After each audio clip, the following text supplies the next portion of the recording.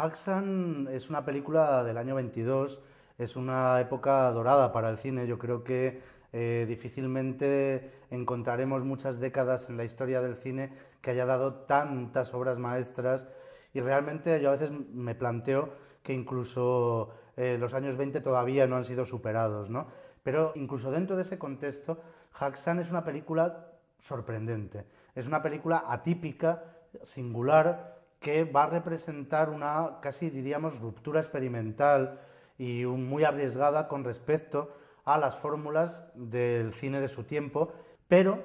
de forma tal que cumpliera también los requisitos de un gran espectáculo de masas. Es decir, no se trataba ni de hacer eh, un simple documental, ni tampoco de utilizar el cine como instrumento educativo para las escuelas o, para uso de científicos, o profesores, sino de atrapar al mayor número de espectadores posibles con una oferta de, espectáculo, de fantasía, de efectos especiales, de intriga, de incluso, ¿por qué no?, de sexo, de erotismo, de violencia, con una película que, sin embargo, no era ni un melodrama, ni una película de terror, ni, una película de, de fantasía estrictamente hablando, sino un ensayo, una demostración, una proposición de eh, cuál era la naturaleza de la caza de brujas, de la brujería en las edades oscuras de Europa.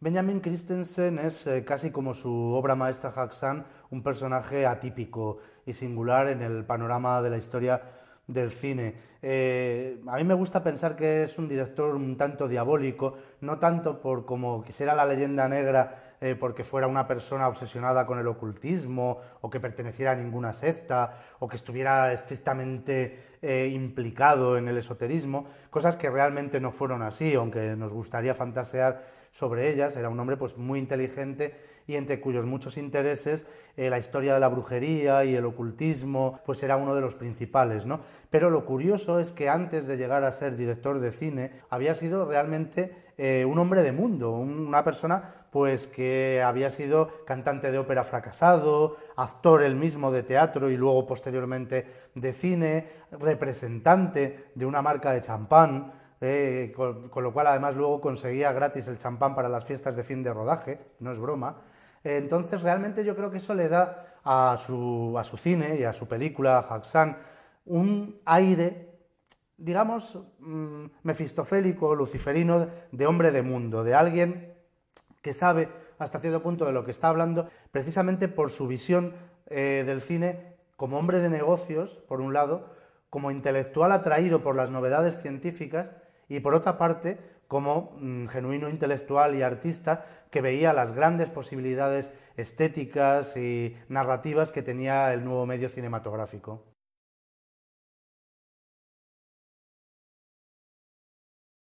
Haxan fue la película más cara de la historia del cine sueco, eh, no solo en su tiempo, sino luego durante muchísimos años. Realmente el rodaje se va a convertir en algunos momentos en un auténtico infierno, tanto para los técnicos como para los actores. Eh, tardará muchísimo más de lo que teóricamente eh, debía haber durado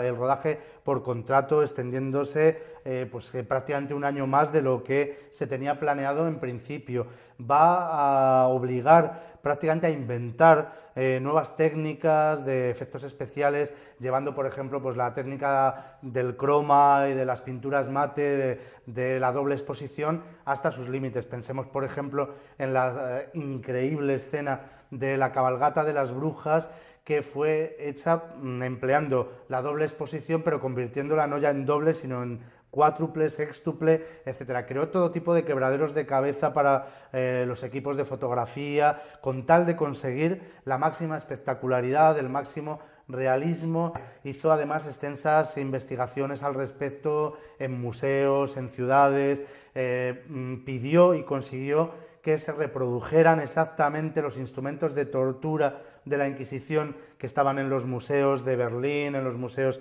de otras ciudades europeas y que por tanto además no, podía utilizar los auténticos, bueno, pues consiguió que eh, se reconstruyeran y que artesanos exprofeso construyeran una vez más esos instrumentos con el máximo detalle y verismo posible.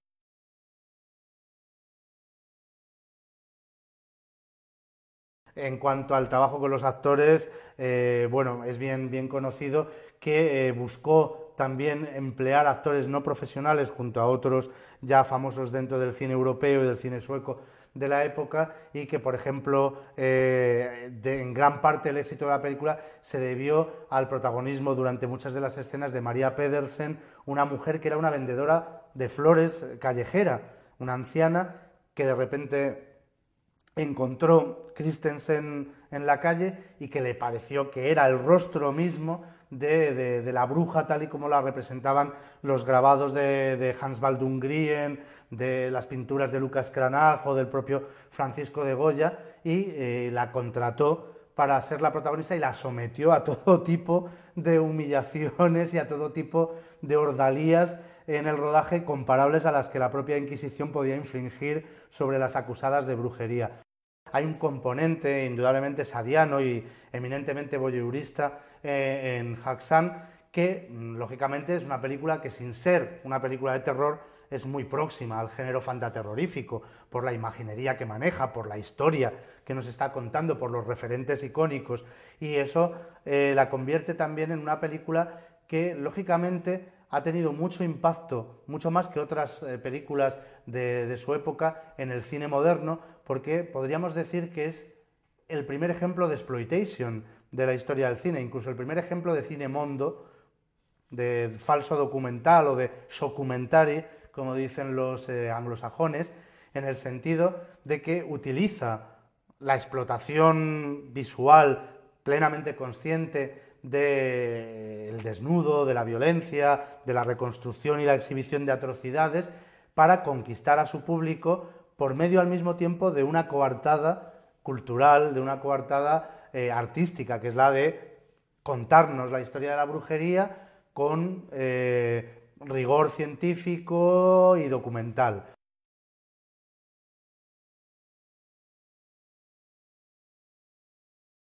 Bueno, como era de esperar una película de las características de Haxan, que además incluía en su eh, narración escenas de desnudos, escenas de tortura, quema de, brujas, todo eso indudablemente eh, entrañaba que Haxan fuera recibida de forma escandalosa y que provocara eh, en los espectadores, en el crítico,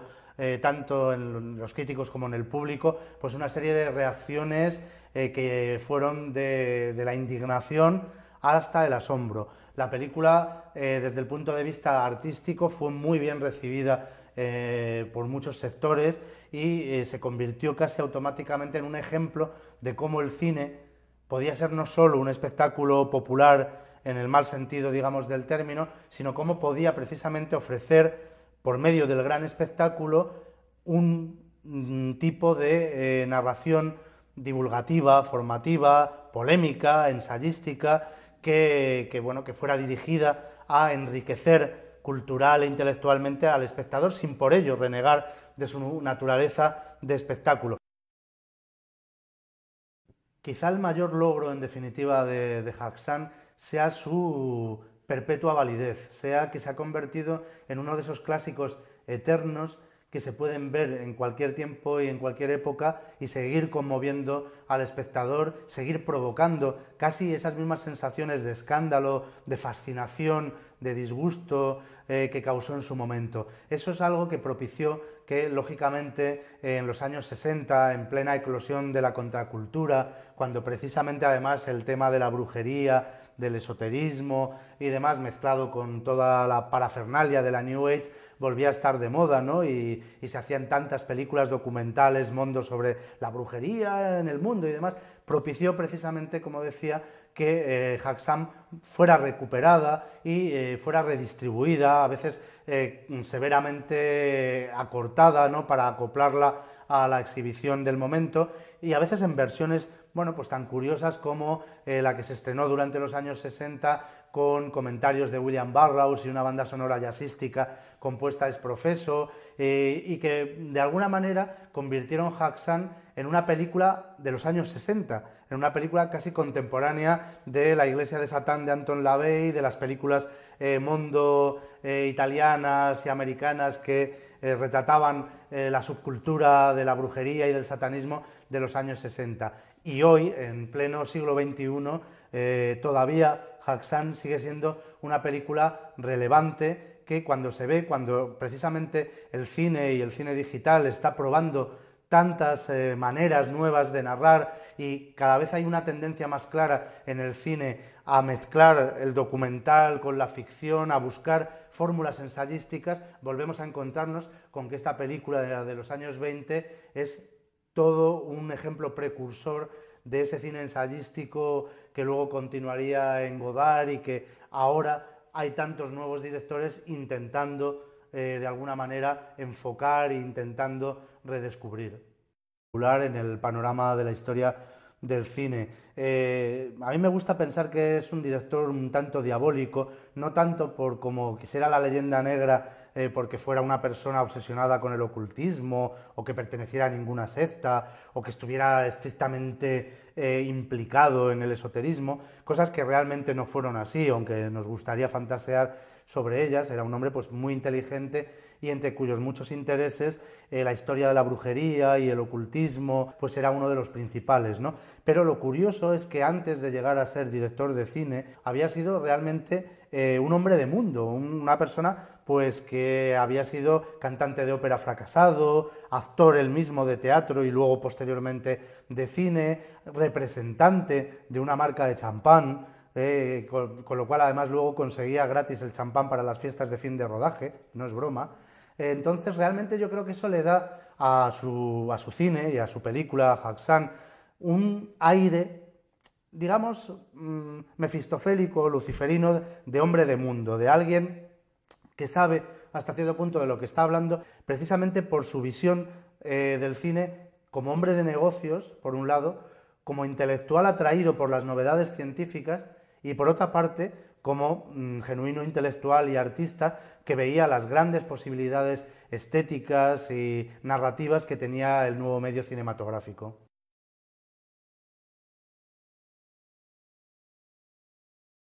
Haxan fue la película más cara de la historia del cine sueco, eh, no solo en su tiempo, sino luego durante muchísimos años. Realmente el rodaje se va a convertir en algunos momentos en un auténtico infierno, tanto para los técnicos como para los actores. Eh, tardará muchísimo más de lo que teóricamente eh, debía haber durado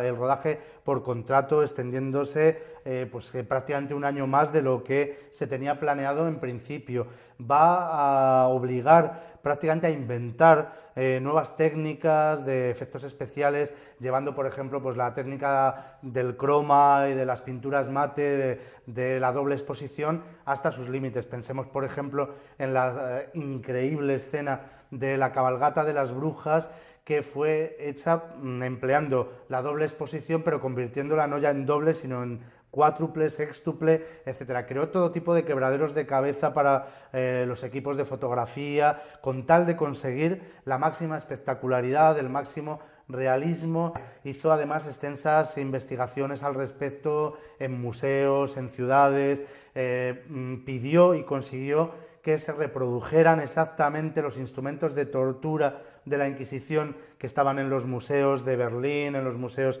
de otras ciudades europeas y que por tanto además no, podía utilizarlos. Mm, mefistofélico, luciferino, de hombre de mundo, de alguien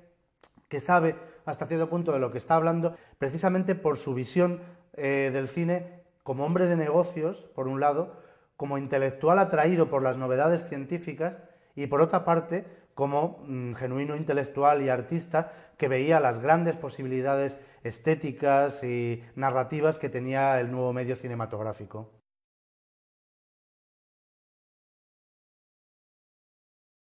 Haxan fue la película más cara de la historia del cine sueco eh, no solo en su tiempo, sino luego durante muchísimos años. Realmente el rodaje se va a convertir en algunos momentos en un auténtico infierno, tanto para los técnicos como para los actores. Eh, tardará muchísimo más de lo que teóricamente eh, debía haber durado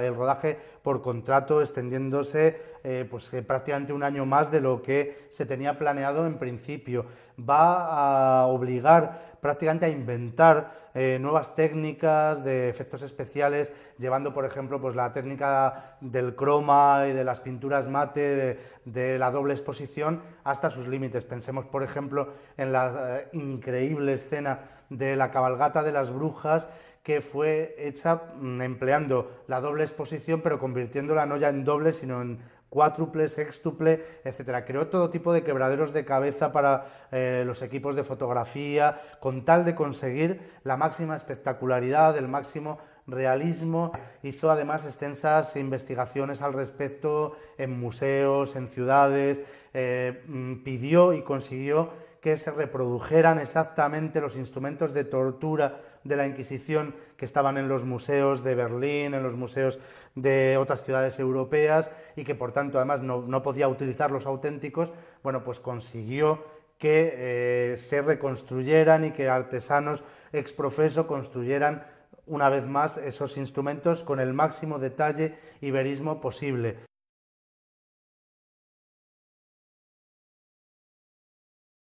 En cuanto al trabajo con los actores, eh, bueno, es bien, bien conocido que eh, buscó también emplear actores no profesionales junto a otros ya famosos dentro del cine europeo y del cine sueco de la época y que, por ejemplo, eh, en gran parte el éxito de la película se debió al protagonismo durante muchas de las escenas de María Pedersen, una mujer que era una vendedora de flores callejera, una anciana que de repente encontró Christensen en la calle y que le pareció que era el rostro mismo de, la bruja tal y como la representaban los grabados de, Hans Waldung-Grien, de las pinturas de Lucas Cranach o del propio Francisco de Goya y eh, la contrató. Indudablemente eh, entrañaba que Jackson fuera recibida de forma escandalosa y que provocara eh, en los espectadores, en el crítico, eh, tanto en los críticos como en el público, pues una serie de reacciones eh, que fueron de, la indignación hasta el asombro. La película, eh, desde el punto de vista artístico, fue muy bien recibida por muchos sectores y se convirtió casi automáticamente en un ejemplo de cómo el cine podía ser no solo un espectáculo popular en el mal sentido, digamos, del término, sino cómo podía precisamente ofrecer por medio del gran espectáculo, un mm, tipo de eh, narración divulgativa, formativa, polémica, ensayística, que, bueno, que fuera dirigida a enriquecer cultural e intelectualmente al espectador sin por ello renegar de su naturaleza de espectáculo. Quizá el mayor logro, en definitiva, de, de sea su perpetua validez, sea que se ha convertido en uno de esos clásicos eternos que se pueden ver en cualquier tiempo y en cualquier época y seguir conmoviendo al espectador, seguir provocando casi esas mismas sensaciones de escándalo, de fascinación, de disgusto eh, que causó en su momento. Eso es algo que propició que, lógicamente, en los años 60, en plena eclosión de la contracultura, cuando precisamente además el tema de la brujería, del esoterismo y demás, mezclado con toda la parafernalia de la New Age, volvía a estar de moda, ¿no? Y, se hacían tantas películas documentales, mundo sobre la brujería en el mundo y demás, propició precisamente, como decía, que eh,